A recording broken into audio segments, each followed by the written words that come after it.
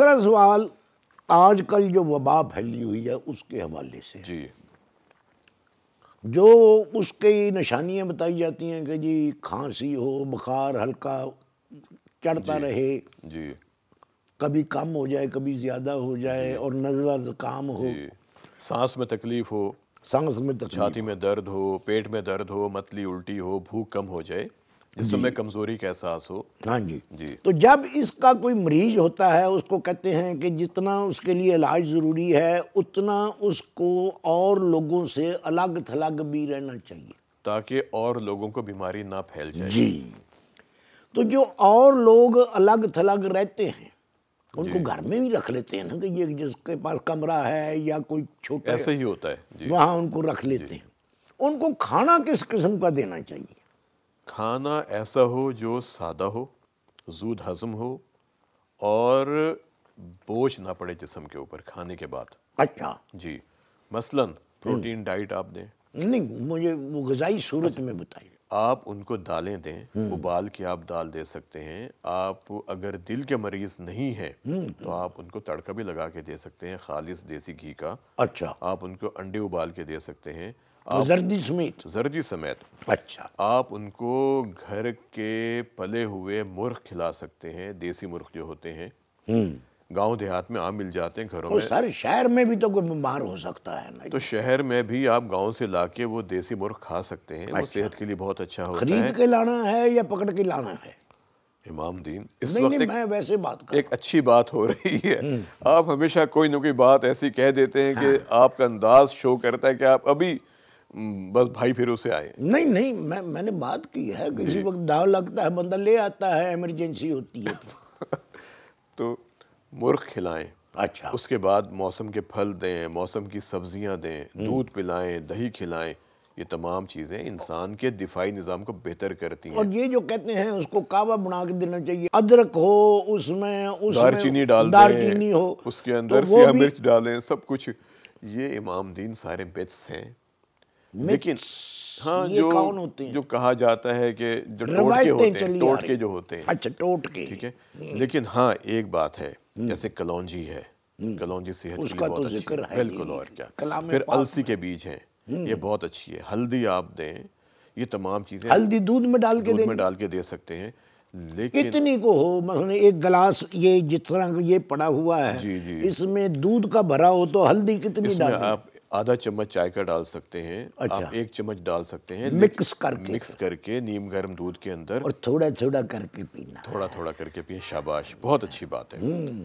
تو یہ تمام چیزیں ہوتی ہیں کیونکہ ہمارا بنیادی مقصد یہ ہے کہ ہم جسم کے دفاعی نظام کو مضبوط کریں۔ جتنا ہمارا دفاعی نظام مضبوط ہوگا بیماریاں ہم پر حملہ نہیں کر سکیں گی۔ اور کوئی بھی وائرس ہو کوئی بھی بیکٹیریا ہو کوئی بھی جراثیم ہو وہ ہم پر اتنی آسانی سے قابو نہیں پائے گا۔ اب میں یہاں پر اپنے دوست گامی بٹ کی بیوقوفی کی ایک بات سناؤں آپ کو۔ کیا ہوا؟ وہ کہہ رہا تھا کہ اس نے وڈے کھروڑے ہوتے ہیں نا جی وڈے پاوے۔ اچھا۔ وہ اس کو پکانے کا بڑا شوق ہے کھانے کا کٹ ہے۔ وڈے پاوے کیا؟ بھائی گائے کے پاوے بیف کے جو اچھا، پاوے اچھا، ہوتے اچھا، ہیں۔ اوکے ٹھیک ہے۔ وہ جو اتنے اتنے بڑے ہوتے ہیں کہ چاہے چارپائی کو لگوا لیں چاہے پکا لیں۔ اچھا ہاں ٹھیک جی۔ ٹھیک۔ اس نے وہ پاوے پکائے کس لیے؟ کہ میں یہ کھاؤں اور اس کا شوربہ پیوں۔ جی۔ تاکہ مجھے کرونا نہ ہو۔ کتنی سخت غذا ہے یہ۔ جی۔ اور پھر سب سے بڑی بات یہ کہ آپ یہ دیکھیں کہ اس عمر میں ہاں جی ہاں جی۔ کتنے مسائل ہوتے ہیں۔ شوگر بھی ہو سکتی ہے بلڈ پریشر بھی ہائی ہو سکتا ہے دل کا مرض بھی ہو سکتا ہے دما بھی ہو سکتا ہے۔ جب آپ اتنا زیادہ کھائیں گے اور پیٹ بھر بھر کے پئیں گے تو خون کا والیوم زیادہ ہو سکتا ہے انسان کو بے شمار مسائل پیدا ہو سکتے ہیں۔ معتدل غذا ہونی چاہیے یعنی جو اعتدال میں ہو۔ سب کچھ کھانا چاہیے۔ مگر تھوڑا۔ تھوڑا۔ ہاں جی۔ میں اکثر ایک سوال کرتا ہوں لوگوں سے۔ مجھ سے نہ کیجیے گا۔ نہیں آپ سے بھی کروں گا۔ وہ یہ کہ زندہ رہنے کے لیے کھانا ضروری ہے ذائقہ ضروری ہے یا بہت زیادہ کھانا ضروری ہے؟ نہیں جی زندہ رہنے کے لیے بس کھانا چاہیے جتنی۔ ڈیمانڈ کرے آپ کا بے شک بے شک۔ کیونکہ جتنا ہم کھائیں گے اتنا ہی ہم میں بیماریوں کے امکانات بڑھتے چلے جائیں گے۔ کھائیں ضرور۔ آپ کی خوراک متوازن ہونی چاہیے۔ آپ کی خوراک میں سبزیاں ہوں خوراک میں پھل ہوں خوراک میں نشاستہ دار چیزیں ہوں جیسے چاول یا گندم۔ آپ کی خوراک میں پروٹین بھی ہونی چاہیے دالیں ہوں پھر گوشت ہو جو حسب استطاعت ہے آپ کی۔ اللہ آپ کا بھلا کرے دیکھیں آپ نے یہ کم خوراک کھانے کے بارے میں کہا ہے تو ہمارے تو جو نبی کریم صلی اللہ علیہ وآلہ وسلم کا فرمان ہے کہ کم بولنا جی۔ کم کھانا جی۔ اور کم سونا۔ بہت اچھی بات۔ یہ انسانی زندگی کے لیے بہت ضروری ہے۔ اس پر اگر بندہ عمل کر لے تو سطح خیرہ ہے ایک واقعہ مجھے یاد آ رہا ہے۔ اچھا جی سنائیں آپ نے کہا نا حضور صلی اللہ علیہ وآلہ وسلم کا فرمان ہے۔ یہ فرمان ہے تو اس زمانے میں روم ایک بہت بڑی سلطنت تھی۔ اچھا۔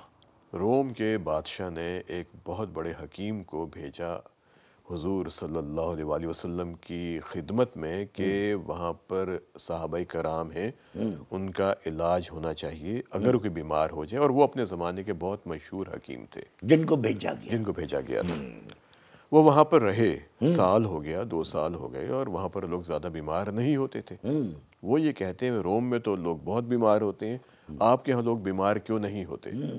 تو ایک صحابی نے عرض کی جناب ہمارے حضور نبی اکرم صلی اللہ علیہ وآلہ وسلم کا فرمان ہے کہ جب تک بھوک نہ لگے کھانا مت کھانا۔ اور جب کھانا کھانا تو اتنا کہ پیٹ کا ایک حصہ خالی رہے۔ یعنی پیٹ کو چار حصوں میں تقسیم کر لیا جائے۔ تین حصوں میں کھانا فل کر لیا جائے۔